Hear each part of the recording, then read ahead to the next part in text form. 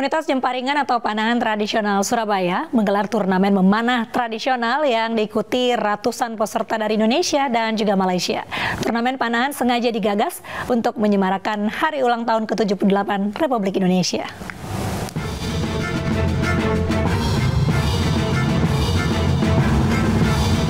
750 atlet panahan tradisional atau jemparingan dari Indonesia dan Malaysia beradu taktik serta ketepatan memacu busur panah ke target sasaran dalam turnamen jemparingan yang berlangsung di lapangan Mulyorejo, Surabaya, Jawa Timur. Selain diharuskan dapat memanah sesuai target sasaran yang telah disediakan, seluruh peserta juga diminta mengenakan pakaian adat masing-masing daerah untuk lebih memeriahkan acara.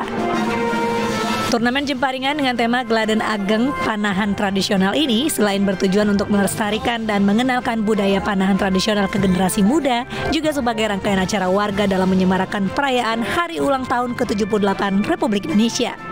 Uh, melestarikan budaya juga, ini kan panahan tradisional, jadi harus memakai baju adat, ya kan usulnya juga ada jemparing, ada horsebow, jadi macam-macam kita kumpul di sini jadi satu. Target pada kegiatan pada hari ini ada adalah sosialisasi tentang panahan tradisional, mencintai budaya tradisional dan apa dalam rangka memperingati Hari Kemerdekaan Bangsa Indonesia.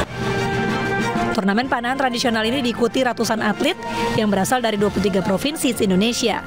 Sementara peserta dari negeri serumpun Malaysia menerjunkan 12 atletnya. Dari Surabaya, Jawa Timur, Yuda Prawira, iNews melaporkan.